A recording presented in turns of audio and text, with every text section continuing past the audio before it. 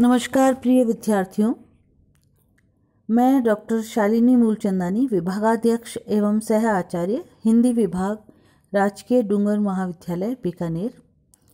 आज हम M A उत्तरार्ध के तृतीय प्रश्न पत्र भाषा विज्ञान के अंतर्गत हिंदी की पारिभाषिक शब्दावली पर चर्चा करेंगे। पारिभाषिक शब्दावली का तात्पर्य पारिभाषिक शब्दावली अंग्रेज़ी के टेक्निकल टर्मिनोलॉजी का हिंदी अनुवाद है। हिंदी का ये टेक्निकल शब्द ग्रीक भाषा के टेक्निकोई से व्युत्पन्न है, जिसका अर्थ है कला विषयक। कोश के अनुसार टेक्निकल का अर्थ है विशिष्ट कला विज्ञान तथा शिल्प विषयक। पारिभाषिक शब्द का तात्पर्य है ज्ञान विज्ञान के विशेष क्षेत्र में विशिष्ट तथा निश्चित रूप में प्रयुक्त होने वाले शब्द। प्रयोजन मूलक हिंदी की दृष्टि से शब्द तीन प्रकार के होते हैं।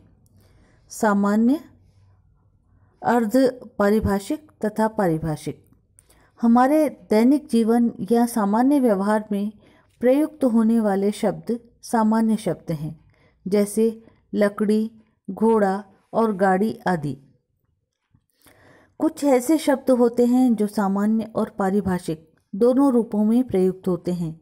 वे अर्ध पारिभाषिक शब्द हैं, जैसे रस, अर्थ आदि। पारिभाषिक शब्द वैसे शब्द हैं जिनका किसी विशेष विषय अथवा क्षेत्र के लिए अर्थ निश्चित कर दिया गया है, जैसे मानविकी, प्रशासन आदि। परिभाषा, चैम्बर्स टेक्निकल डिक्शनरी। पारिभाषिक शब्दावली विशेषज्ञों तथा तकनीशियों, तकनीशियनों के, उनके अपने विशिष्ट विचारों को लिपिबद्ध करने हेतु ग्रहण, अनुकूलन और निर्माण द्वारा तैयार किए जाने वाले प्रतीक मात्र हैं। रैंडम हाउस, विज्ञान अथवा कला जैसे विशिष्ट विषयों की तकनीकी अभिव्यक्ति हेतु किसी निश्चित अथवा विशिष्ट अर्थ में प्रयुक्त। डॉक्टर रघुवीर। पारिभाषिक शब्द उसको कहते हैं जिसकी परिभाषा की गई हो। पारिभाषिक शब्द का अर्थ है जिसकी सीमाएँ बाँध दी गई हों। जिन शब्दों की सीमा बाँध दी जाती है, वे पारिभाषिक शब्द हो जाते हैं और जिनकी सीमा नहीं बांधी जाती है, वे साधारण शब्द होते हैं। डॉक्टर भोलानाथ तिवारी का कहना है कि पारिभाषिक शब्द ऐसे शब्दों को कहते हैं जो रसायन, भौतिकी, दर्शन, राजनीति आदि विभिन्न विज्ञानों या शास्त्रों के शब्द होते हैं, तथा जो अपने अपने क्षेत्र में, विशिष्ट अर्थ में सुनिश्चित रूप से परिभाषित होते हैं। अर्थ और प्रयोग की दृष्टि से निश्चित रूप से परिभाषित होने के कारण ही ये शब्द पारिभाषिक शब्द कहे जाते हैं। विशेषताएँ परिभाषित और व्याख्या सापेक्ष। पारिभाषिक शब्दों को व्याख्या सापेक्ष और परिभाषित होना चाहिए। यही विशेषता उसे सामान्य भाषा से अलग करती है।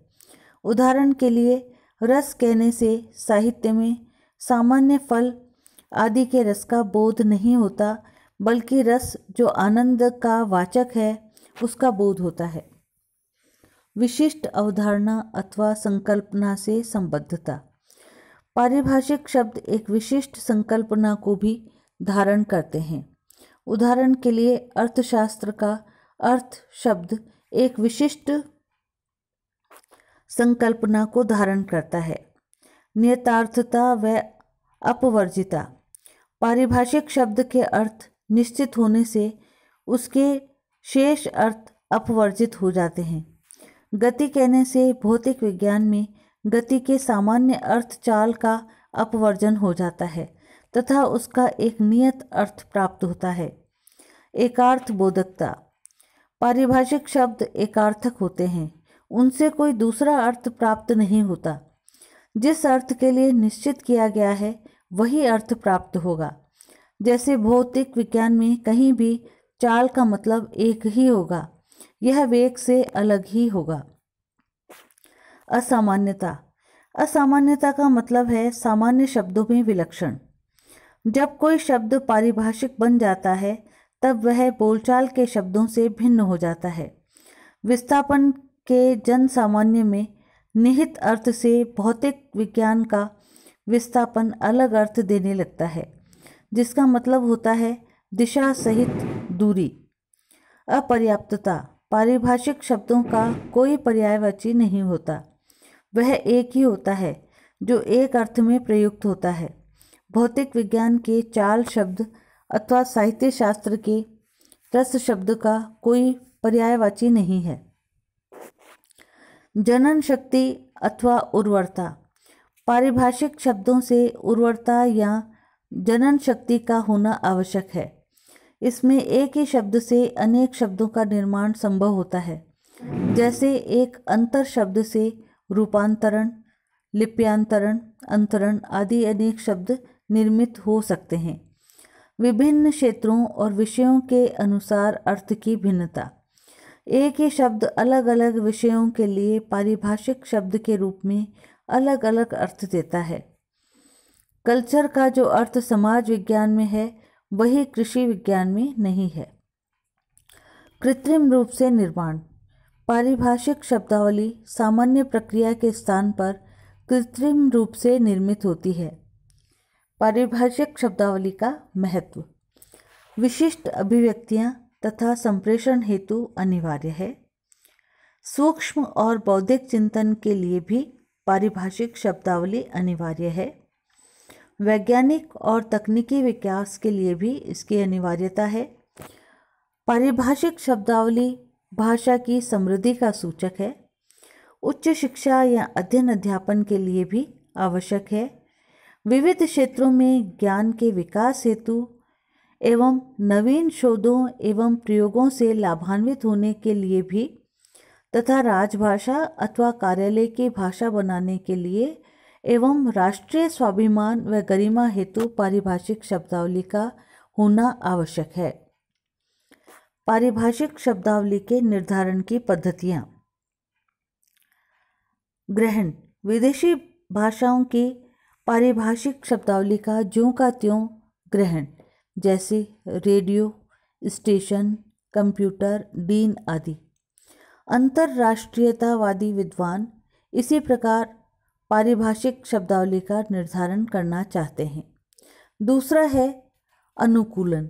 विदेशी शब्दावली को अपनी भाषा की प्रकृति के अनुरूप परिवर्तित कर अपनी भाषा में सम्मिलित करना, यह दो प्रकार का होता है। ध्वन्यानुकूलन, जैसे एकेडमी के लिए अकादमी, और शब्दानुकूलन, जैसे डिजिटलाइजेशन के लिए डिजिटलीकरण। पारिभाषिक शब्दावली के निर्धारण की तीसरी पद्धति है संचयन। इसके अंतर्गत भारतीय भाषाओं और बोलियों से शब्दों का चयन और प्रयोग आता है, जैसे अणु, परमाणु आदि। पारिभाषिक शब्दावली के निर्धारण की चौथी पद्धति है निर्माण। राष्ट्रीयतावादी विद्वान विशेषकर डॉक्टर रघुवीर संस्कृत की धातुओं में उपसर्ग प्रत्यय आदि के संयोग तथा सामासिक पद्धति से पारिभाषिक शब्दों के निर्माण के पक्षधर हैं। जैसे अधि प्लस सूचना, अधिसूचना, लिपि प्लस क, लिपिक आदि। पारिभाषिक शब्दावली के निर्माण के सिद्धांत। डॉक्टर रघुवीर ने पारिभाषिक शब्दावली के निर्माण के तेरह सिद्धांत दिए हैं। वैज्ञानिक एवं तकनीकी शब्दावली आयोग ने भी कुछ सिद्धांत दिए हैं जिसका प्रशासनिक शब्दावली पुस्तक में उल्लेख उल्लेख है। पुस्तक का चित्र आपके दर्शनार्थ प्रस्तुत है। पारिभाषिक शब्दावली के निर्माण की प्रक्रिया। उपर्युक्त सिद्धांत के आधार पर पारिभाषिक शब्दावली निर्माण की पाँच प्रक्रियाएँ हैं। पहली, उपसर्ग और प्रत्यय द्वारा, जैसे अनु प्लस बंध। अनुबंध, इसमें अनु उपसर्ग लगाया है। इसी तरह से भौतिक प्लस ई, भौतिक, इसमें ई प्रत्यय लगाया गया है। दूसरा, दो धातुओं को संयुक्त करके, जैसे जाँच, उड़ान। तीसरा है सामासिक पद का निर्माण करके, जैसे स्थान प्लस अंतरण, स्थानांतरण। निदेश प्लस आलय, निदेशालय। चौथा है निपात द्वारा या नाम धातु बनाकर जैसे ओशीकरण। और पांचवा है यादृच्छिक, जैसे गांधीवाद। धन्यवाद मित्रों, मेरे चैनल को लाइक और सब्सक्राइब करना ना भूलें।